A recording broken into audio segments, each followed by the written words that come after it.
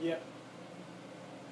Hi everybody, my name is Kevin Cole. Thanks for being here today. Um, today I'm going to be, be giving you a brief period of instruction on building relationships, specifically between the TOSA, the teacher on special assignment, and the teachers. Um, in some other locations, the TOSA is also called the instructional coach. Um, I'll be using the term TOSA, that's what we use here in the school district. And so our presentation focus, one more time, is about the building and establishing relationships between the TOSA and the teachers. Anyways, today I'm going to be covering uh, three significant aspects of building these relationships. And the first one is the importance of building relationships between the TOSA and their teachers. So anyways, the, the, the first thing here is establishing trusting relationships is, is really important for the teacher on special assignments. Um, in order to effectively teach the adult students, the teachers, um, the TOSA needs to have effective communication and a level of rapport with every teacher and administrator. This is often challenging because a lot of times the TOSA is stepping into a classroom with a teacher who's been teaching for many years, and so this can be a challenging topic.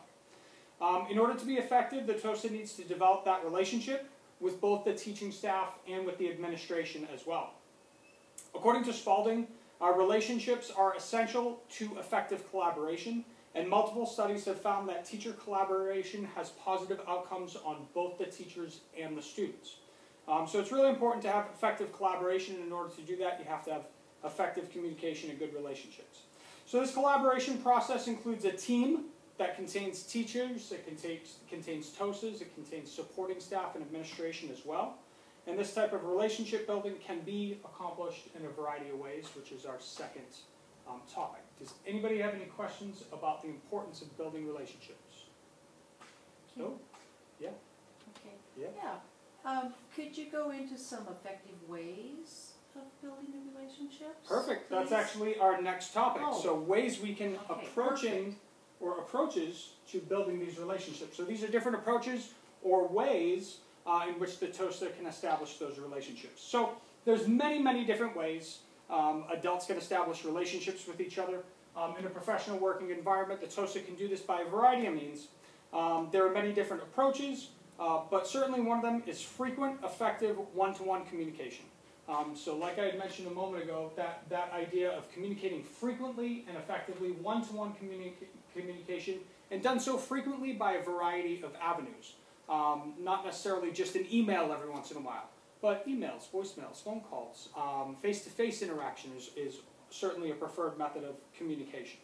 Um, teachers really appreciate talking with and receiving assistance from their TOSA, um, and this is important to include a face-to-face -face discussion because that can eliminate miscommunications that might come up in email or voicemail.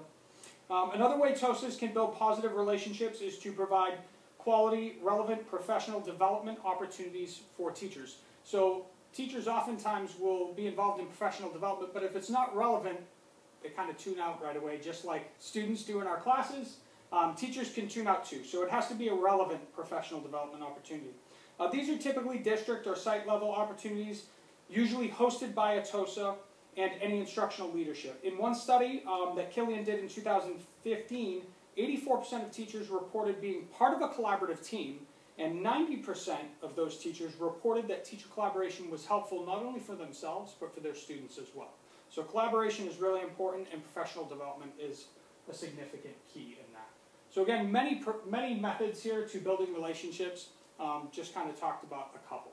Does anybody have any questions at this point? I know I'm going kind of fast. No, but you're hitting on the collaboration and the the uh, time spent in the face-to-face contact, and yeah, that's right. We needed that little reminder. Thank you. Excellent. Okay, the third topic I want to cover just briefly before we conclude is communicating effective feedback. That is that communication that is effective. Um, I really love this cartoon right here. You have a little dog in school, and he gets his paper back from the teacher, and it says, bad dog. What's that really teaching the dog? He says, I'm going to need more specific feedback on my formative assessments, and that's absolutely true. One of the big uh, things with effective feedback is being specific. So frequent, specific, and various feedback. Uh, communication is necessary in the workforce, but communication can also be harmful if it's not effective feedback. And so that's what we're looking for when we have feedback from the TOSA to the teachers. Um, opening as many lanes as communication as possible to make communication timely, reliable, frequent, is one such way of giving effective feedback.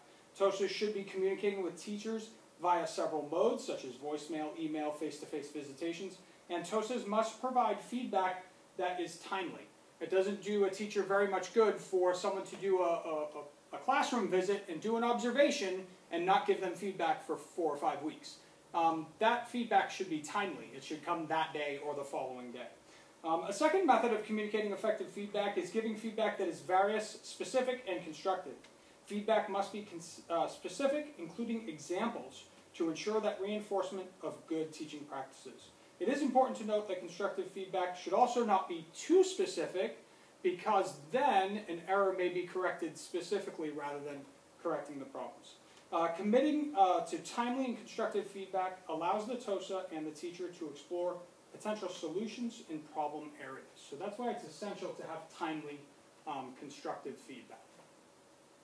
All right, I went through this really quickly. I gave you a brief introduction. I talked about the importance of building relationships with um, those teachers. I talked about approaches to building those relationships, and I also talked to talked about communicating effective feedback. Um, I have several sources that I use to get to this point, and those are there. Does anybody have any questions on anything I covered? I know I burned through it kind of quickly, um, but this is just a short introduction to these topics. Good reminder, Great, because this is what we do with our students. perfect, And so it's a good opportunity to, to refresh, so thank you very much. great. Anybody else have anything? All right, great, you guys. Thank you very much for being here. If you have nothing else, I have nothing else. Have a great day. Thank you. Cool, I think that's fine. I'm sorry, I talked a little much, You're fine. but No, you're fine. you just, you led me right into it. No, it's It good. just- You were supposed to. It was supposed to be kind of interactive. That's actually well, perfect. And that's, I can't not interact. No, that's great. I think that's great, Shirley. Let me just make sure it recorded all that. Oh, Yep, shoot. it's still recording. Nope, perfect.